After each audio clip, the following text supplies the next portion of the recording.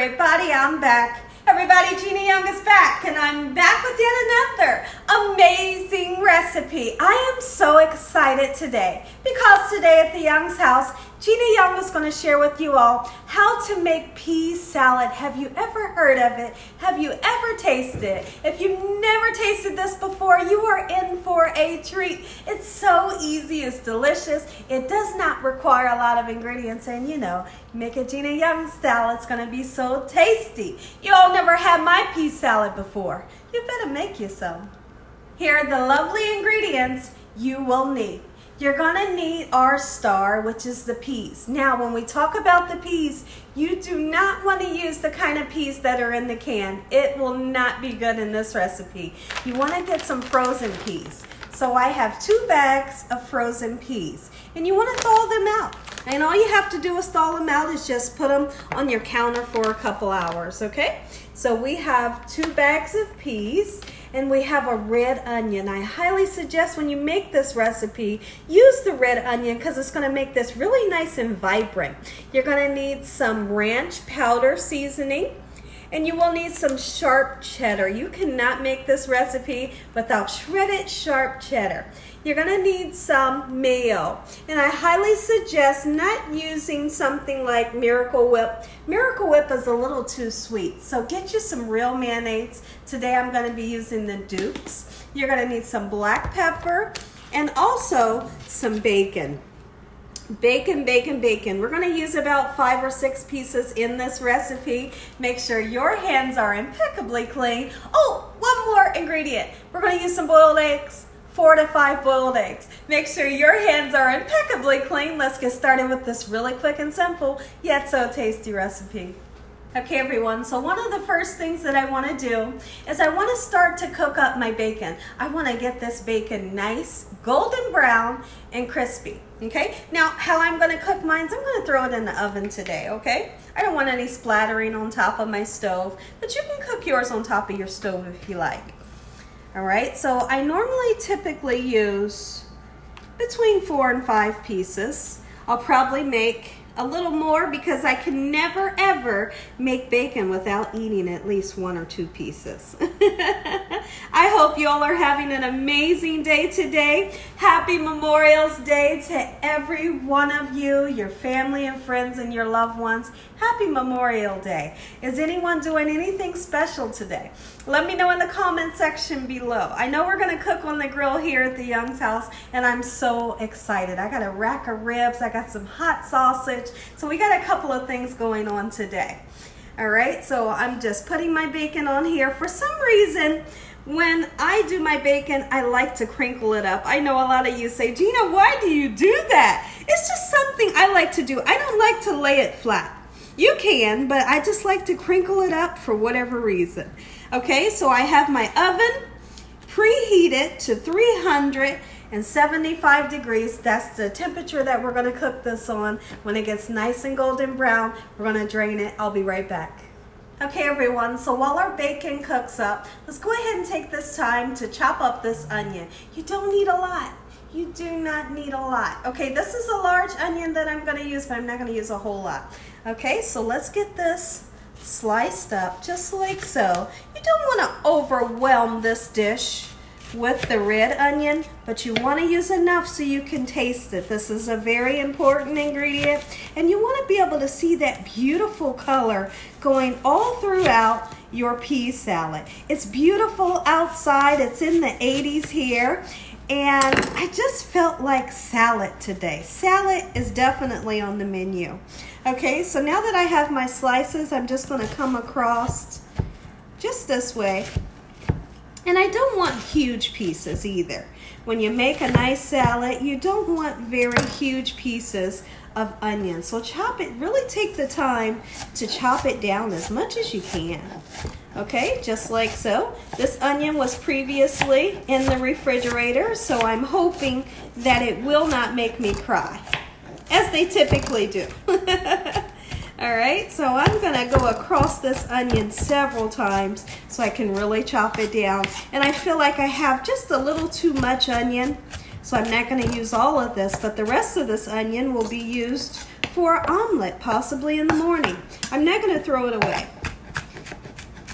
Finish chopping this up, I'll be right back. Okay everyone, so I've peeled up some eggs. Let's get them nice and chopped up. Okay, so I'm just gonna take my paring knife. I've already peeled them and rinsed them off. I'm just gonna do just like so. And honestly, don't chop them too small. You wanna be able to see these eggs in your recipe. Okay, just like this will do the trick. Beautiful, you can still see those gorgeous egg yolks. You can still see the white. It makes the salad nice and beautiful. How many of you have ever heard of pea salad before? Let me know in the comment section below if you've tasted it before. A lot of people has never heard of it. This is something that I grew up on and it is absolutely amazing. Lots of fun to eat, especially when it's nice outside.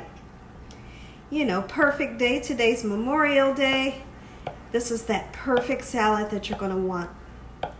Beautiful. All right, so now that our eggs are almost chopped up, we'll get to start mixing up all of our ingredients. I gotta really keep an eye on my bacon. My bacon is just about done. I wanna get that bacon nice, beautiful, and golden brown and crispy. This is not a recipe where you cook your bacon to where it's still a little bit chewy. Make it crispy. All right, now I've made this recipe before, but only I didn't use bacon. And what I what do I think about that? Well, I think they both are delicious. Whether you use the bacon or not, delicious. You don't have to use the bacon. And those of you that are not fans of pork, guess what you can use? Use you some turkey bacon. Get it nice and crispy. It's gonna be delicious. Okay, so now I wanna take these eggs and we're just gonna get them into this bowl just like so. And when I come back, we're gonna mix up our gorgeous salad. Ooh, I'm excited. Okay, everyone, so I'm trying to figure out what bowl I wanna use. I have a big bowl and I have a medium bowl. Let's start out by putting our peas into the bowl. And if we have any water from the peas um, thawing out, then we'll drain the water, okay? Oh, definitely, I'm gonna need to use this other bowl. I can see it's gonna get nice and full once we start to put everything in. So let's go ahead and switch right now. Because I don't wanna have a hard time once I start to mix everything up. Now these bags are 12 ounce bags. Anytime I make pea salad, I always use two bags. I really could honestly use three bags because this salad everyone loves it. The adults, the kids love it, and it goes really quickly. So if you want to double the batch, just, you know, just double your ingredients, just like so. Now we're going to use a cup of the mayonnaise. But let's talk about the mayonnaise really quickly. I don't highly suggest, I do not suggest that you use a sweet mayonnaise. I know I mentioned it earlier, but I just want to say it again. Using a sweet mayonnaise will give this recipe a different taste. It's not supposed to be sweet. Okay, so that's why I'm using the Duke's mayonnaise. If you're a person that just, you just love Miracle Whip and that's what you want to use, well, go ahead. okay, so um, now, you want to make this creamy, but you don't want it to be too creamy. Have you all ever had something like macaroni salad or potato salad and it's just way too creamy? You put as much mayo as you would like to have in yours so you and your loved ones can enjoy it. Okay, so now that I have my two bags and I don't have any liquid, I'm very happy. I'm pleased the peas are nice and thawed out. We're gonna put around about a half a cup to a cup of shredded sharp cheddar in. I suggest using the sharp cheddar. It's going to give you that best taste that we're looking for. Get you some in there. Don't, don't be shy. Just like so. Beautiful. Look at the colors. It's just gorgeous already, right? Okay, so my bacon is done. Let's go ahead, get the eggs in, just like so. All right, and we're gonna put some pepper in. We're not gonna use salt the reason why we're not to use salt is because we're to use this ranch packet and we know that there is some salt in here so you don't need it. But you will need some pepper. Pepper for sure. Don't be afraid to season. You want anything that you make, even if it's a salad, to have nice seasoning. Okay, so then we're to put our whole packet of ranch powder in. When I use two bags, I always use one whole packet. If you don't want to use the whole packet, then that's okay. It's definitely okay. There are different name brands of this uh, ranch seasonings. There's some with dill flavor. There's some with bacon. Get whatever kind that you love. It's still going to be delicious. Okay, so now we have our peas. We have our sharp cheddar. We've got our eggs, our pepper, and our ranch. I need to check on my bacon, get it out the oven, and I'll be right back. Okay, everyone, let's finish up this beautiful salad. So now that my bacon has been drained on a paper towel and it's cooled down enough so I can handle it, let's go ahead and chop it up. You know, honestly, you can crinkle it up in your hands if you wanted to. Okay, see how it's beautiful, nice and crispy. That's what I'm wanting. Little pieces all throughout. Make sure you use about four or five pieces.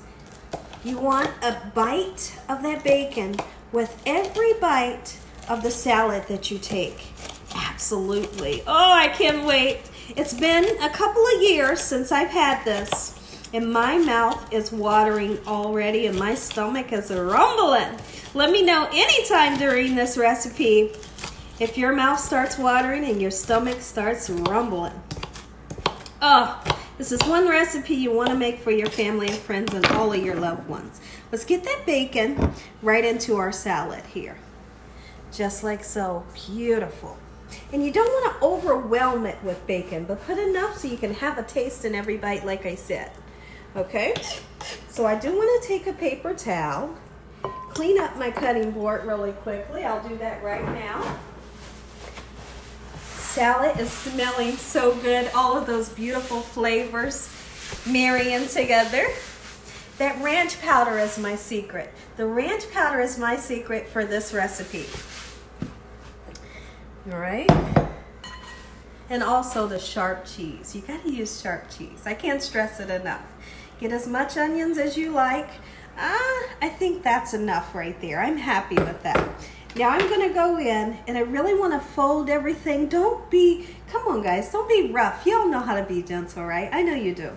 Come on, so we're gonna fold it just like this. Don't go in mixing it because you'll smash your peas, you'll smash your eggs, and then it won't look as appetizing. You want this to look appetizing. Okay, so we're just to fold it well till everything gets incorporated. We really want to mix in that ranch powder and that black pepper. You know, so you don't have just a mouthful of the ranch or the black pepper alone.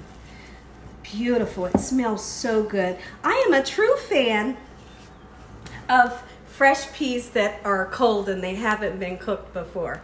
Like if I have a salad, what I love on a salad is fresh peas, mushrooms, and eggs and French dressing. That's the perfect salad for me. When I think of what kind of salad does Gina Young like? Has to have fresh peas, has to have boiled eggs, and French dressing. That's all I need. I can eat a couple of those salads in one setting.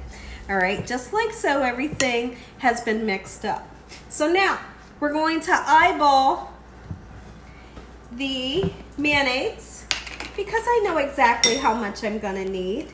You always wanna start off with a little bit. Starting off with a little bit is going to really help you because if you ever put too much in, you can never take away from. So start off with a little bit, you can always add to. So once again, we're gonna go in and we're going to fold it until we get everything nice and incorporated. Now there's a couple other ingredients you can use if you like, and that would be, you can put about one fourth of a cup of sour cream in here? Oh, definitely. And then also you could put a little bit of sugar in here if you wanted to, but I'm not gonna. This is how I like mine. All right, see how you can see the consistency and see if you're happy with the consistency right now. So I see that it needs some more mayonnaise, so go ahead and get you some more in. All right, just like so. Beautiful. We're gonna stir it once again until you're happy with the consistency. Remember, don't put too much in in the beginning. Start off with a little bit and add to. All right, I'm going to continue to mix this up, everyone, and I'll be right back. Okay, everyone, our salad is nice and mixed up. I do want to transfer bowls, so let's do that now.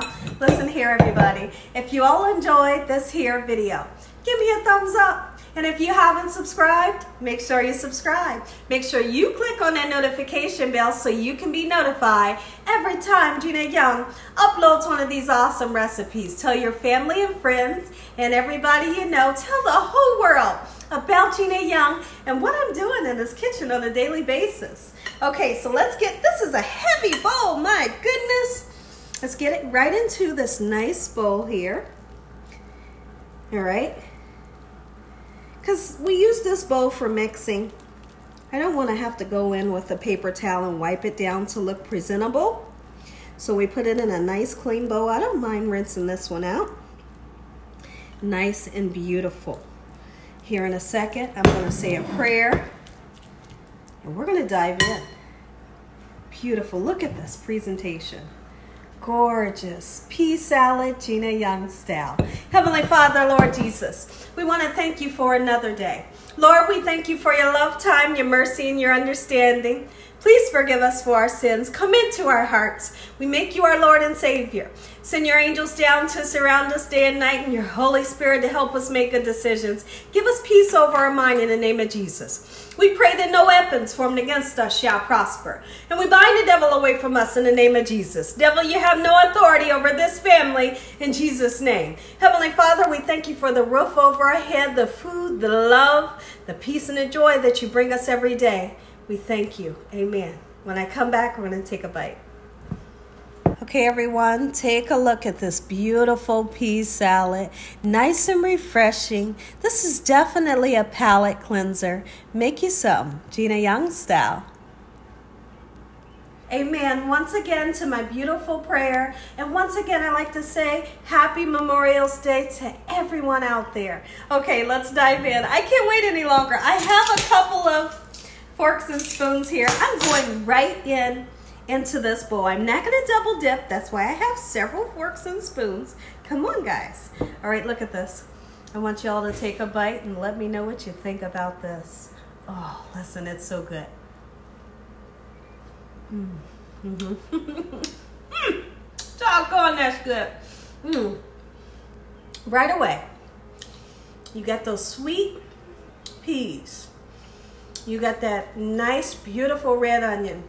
You got that sharp cheese that kind of gets you back here. The perfect amount of mayo. The bacon is nice and crispy. It lets off an amazing flavor. The pepper in that ranch packet. Listen here, don't forget those eggs. I'm going in for another taste. I'm using a different utensil. Mm, it's so good. Come on guys, take one more bite with me. Mmm. Mmm. And as always, God bless you all. Thank you all for watching. Good night.